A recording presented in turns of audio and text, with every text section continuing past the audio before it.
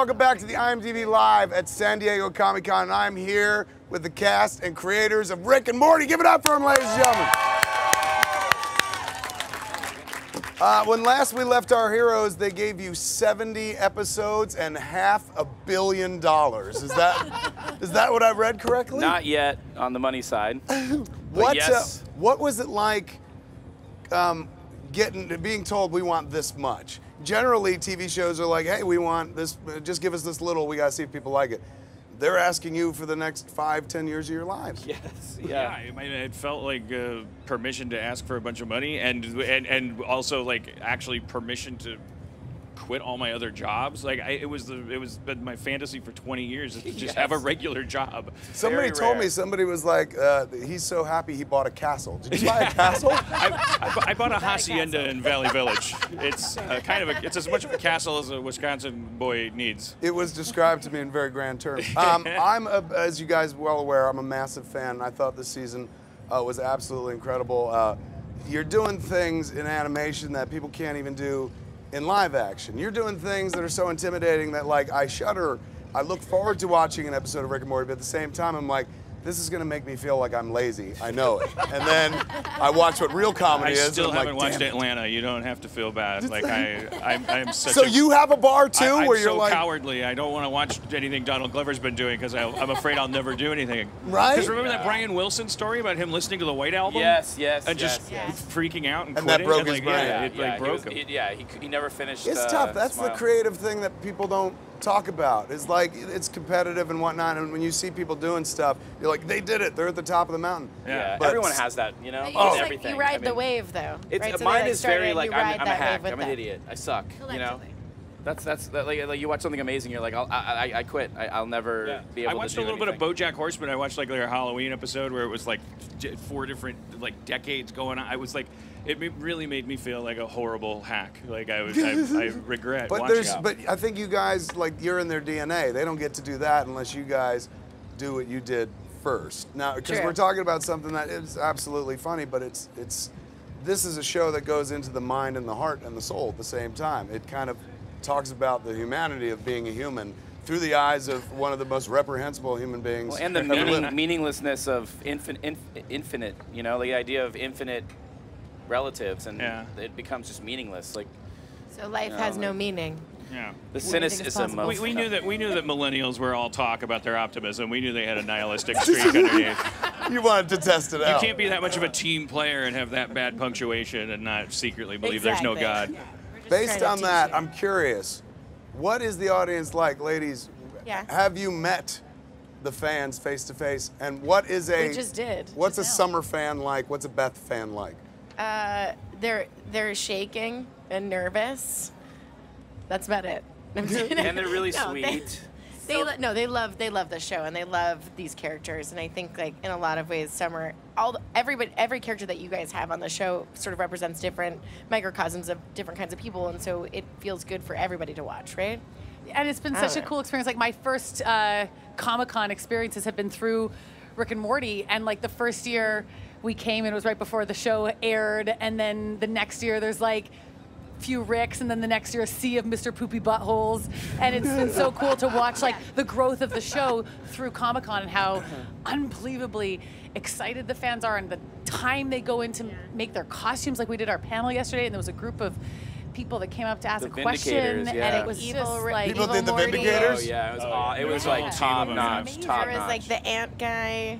Yeah, million ants Million and Will you text Crocubot. Bill Lawrence everything you just said? So I just like to. He's on the live feed right now. He's right here. Come on up. No, no, no. Um, you had a big season last year for Beth, particularly. I was deeply invested in the storyline as well. And when it got to the moment where you were just like, all right, shoot me if you have to. Like, I didn't even know if you were a clone at that point or whatnot. But one thing that I walked away very happy with was, um, and I know it's completely against Rick's eth- ethos, is you and Jerry got back together. Like, it brought you back together. I'm a romantic. When I watch that show, I enjoy the humor of like beat Jerry down to a nub. But the only thing he has in life is Beth. And when you separated them, I was like, oh God, they're so cruel. but I love that even though she's like getting back, she's still like simple, kind, simple. As a. Jerry. Man, yeah, yeah, yeah. A yeah. lot of simple is said a lot of times. Yeah, yeah. Now they said they, you guys, did you roll a clip from an episode? Yeah, we showed an animatic uh, uh, for the, the the Space Snakes episode, which is a season four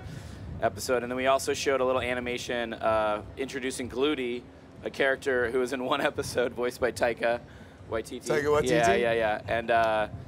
And they made Funko Pops of him that came out like like a couple days ago. So people are like, "Who the who the hell is this character?" Like, and on his forehead it says, "Do not develop my app," like tattooed on his forehead.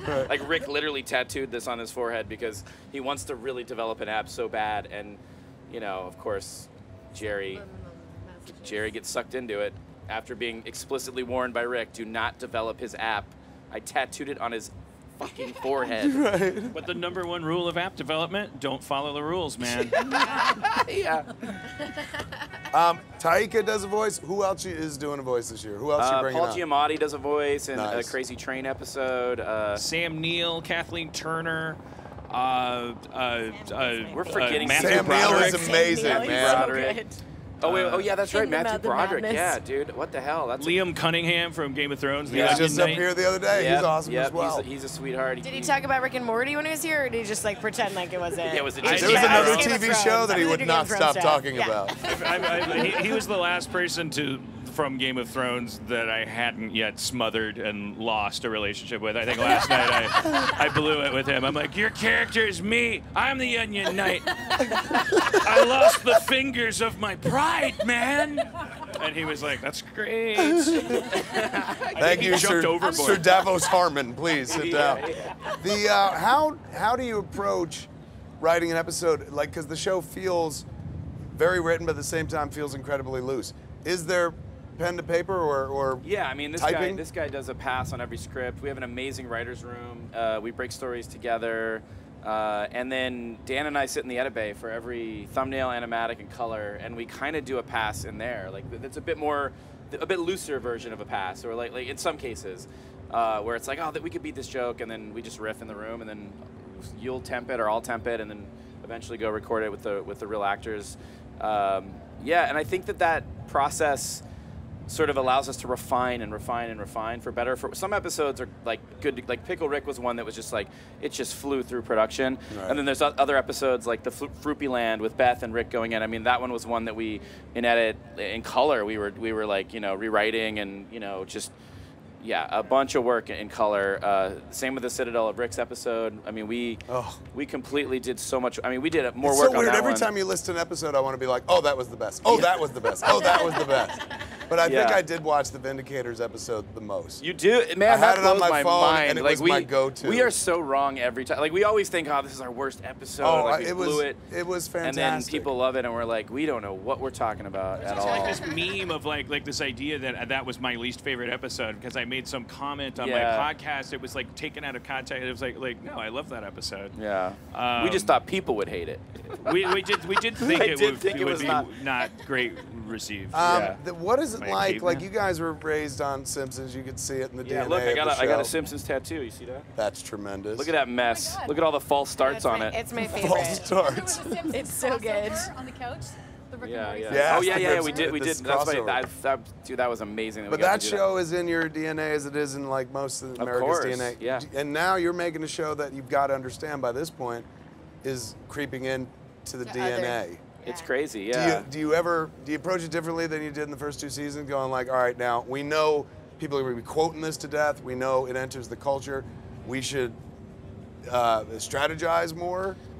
I think every season's a different process, right? Yeah, I think I, thi- I think we, we consider it our our job. I'm sure you probably agree with this that the more that creeps into your head, I don't know, you want to resist that. You, you want because you feel like that's gravity. Right. That's always going to be there. You thinking too much about the audience when you should be thinking about yourself, uh, like like because that's how you'll please the audience. So I, we just sort of like yeah, it's it's it's just a weird psychological Sudoku every season to try to like not think about not thinking about not thinking about the show being thought about. Right, right, right. Yeah. Well, I, on behalf of, for me, and I'm sure I speak for everyone else, uh, the show is made with, with not just a, s- a- a- a- we can't curse, a bunch of humor. Oh shoot. Um, I blew that earlier. But it's also, I know, I fucking blew it too. Oh. It's made with a bunch of humor.